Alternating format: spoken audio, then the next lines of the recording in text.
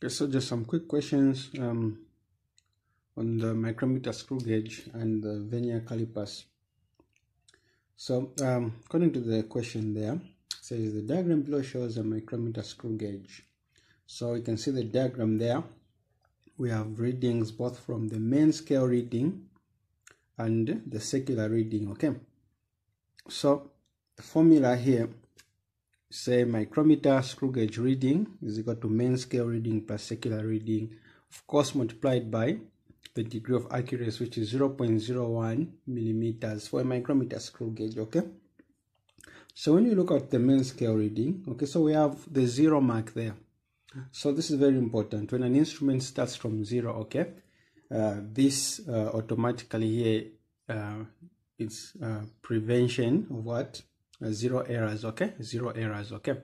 Uh, a lot of uh, instruments uh, that usually have the zero error you discover that the instrument probably was not zeroed when starting okay? So if you look at the main scale reading starting from zero there so we count zero the next reading there which is down it's a 0.5 okay? So that's 0 0.5 then 1.5 2.5 3.5 4.5 6.5 um let's count again. 0 1 2 3 4 5 6 okay so we get 6.5 on the main scale reading okay? So we have 6.5 okay on the main scale reading. Okay the main scale reading we have 6.5 plus the circular reading there we said we pick the reading that is coinciding okay with the datum line okay so the datum line is the line in between there that is separating the readings on top and the readings what? Down okay so if we pay close attention there you find that the reading that is coinciding there it's uh, 13 okay it's into what? 13 okay multiplied by 0 0.01 millimeter. Okay. So we add this together uh, get 6.5 okay first of all we multiply the 13 by 0 0.01 you get 0 0.13 millimeter. Then you simplify this you get 6.63 millimeters. Okay. Uh, okay sorry it's supposed to be 6.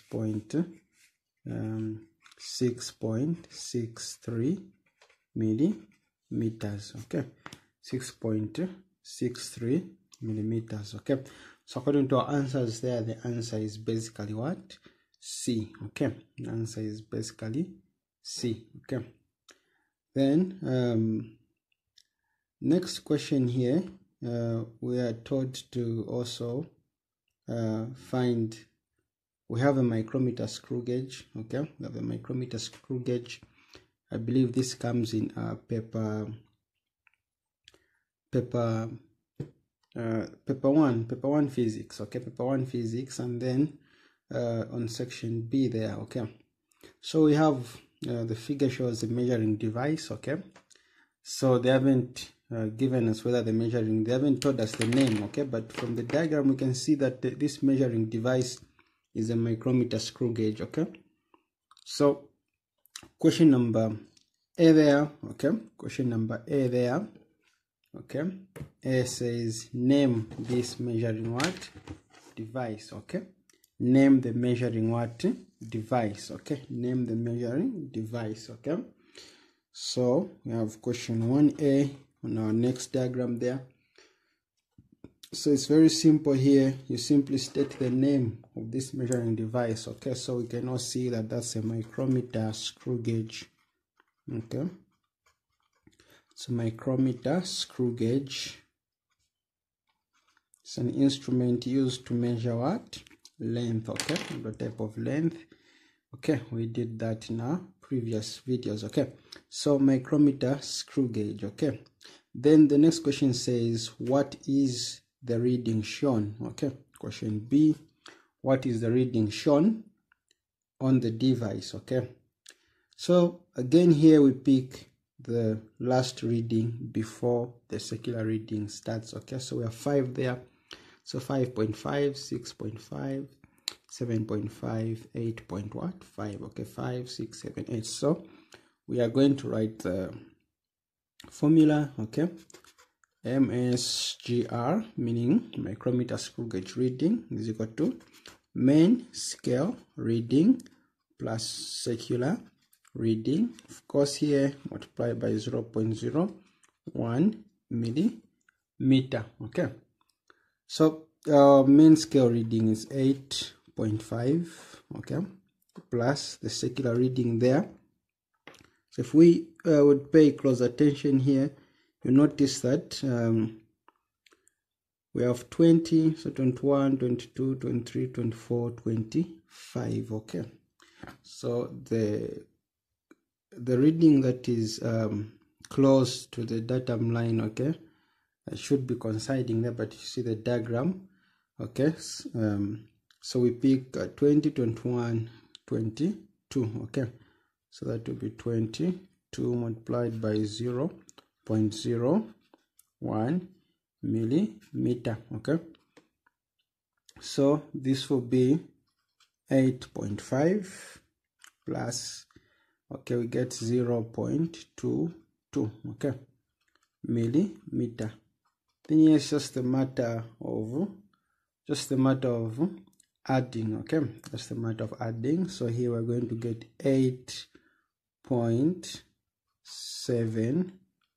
8.72 millimeter. And that is the reading okay? That is the what? The reading okay? Then question c. Question c there okay? Question c there.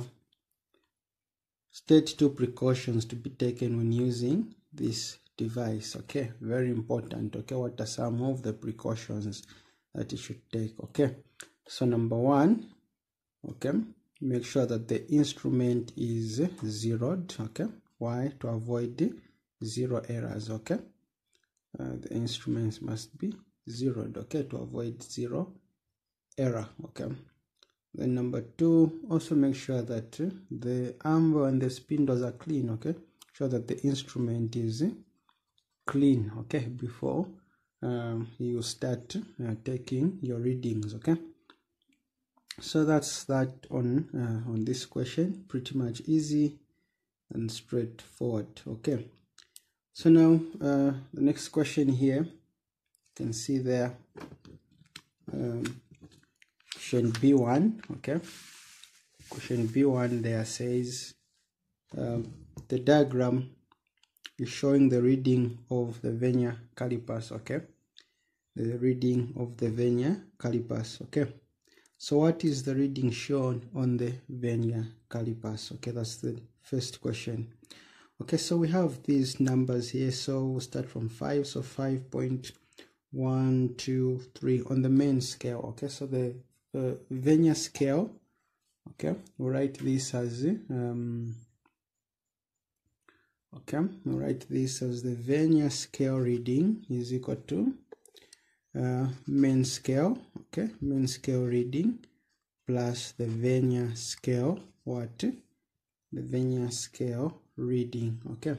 So vernier calipers reading is equals to main scale reading plus the vernier scale reading multiplied by 0 0.01 of course it's centimeters for a vernier a vernier calipers okay.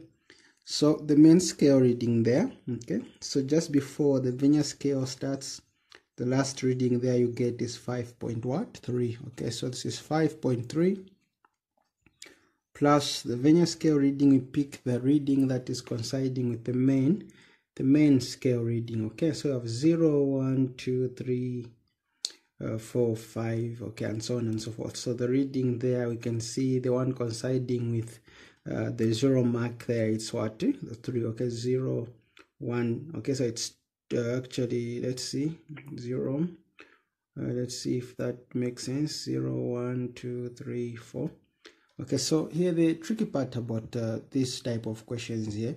We you have to pay close attention okay? So there you need to see that okay it's really not starting from zero okay? The zero is shown there but uh, the first reading there it isn't zero so that should be one okay so that is one two three okay? And then you have four and then it gives you what? The five that is there okay? It gives you the five that is uh, there okay? So there again you're going to go five six seven okay? And so on and so forth okay? So the reading there it's basically one two three okay? So that is 3 multiplied by 0 0.01 centimeter okay so here you get 5.3 plus 0 0.03 centimeter okay? And then here you add basically adding here you get 5.33 okay? 5.33 centimeter okay? And that is the reading okay? Then that was uh, that was question a. Question b okay convert the reading in a above to meters okay? So we know very well that one meter is simply equal to 100 centimeter okay? And then we have um, 5.33 centimeter. This side how many meters is it going to be okay? Yeah just a simple mathematical calculation here. You get 100 centimeter there is equal to 5.33 centimeter. Okay so of course here you have this 100 centimeter has been multiplied with the x so you have x there. So to remain with simply um, uh, x here you divide both sides by 100 okay? So there you get the value for x will simply be what? Okay so we're converting this so it's we're simply taking the decimal point there. So you have 0 0.0533 meters okay? So that's our reading in what? In meters okay? In meters okay? Write the reading in b okay? One in standard notation. Wonderful okay? So uh, sorry that is b2 okay b2 so we take this reading in standard form okay? So standard form so we have 0 0.0533 meters okay? In standard form so we're going to move the decimal place where okay? To a point where we have only one number uh, just after the decimal place okay? So this gives us 5 point three three okay? 5.33 times 10 to the power what? Okay so we're going to the left side. I'm still to the power negative uh, going to the right side sorry. So our power becomes negative what? 2 okay. This is what? In standard what? Notation okay. How many significant figures does the vernier calipers reading in meters have okay? How many significant figures okay so the vernier calipers reading in meters is 0 0.0533 so the number of significant figures here according to the rules okay? The zeros at the beginning there's a decimal are non-significant. So these zeros are not significant. So the only significant numbers here are 5 3 and the other three okay? So you have three significant figures okay three significant figures okay? And that's all for this question. If you have any uh, questions just uh, please uh, comment on the comment section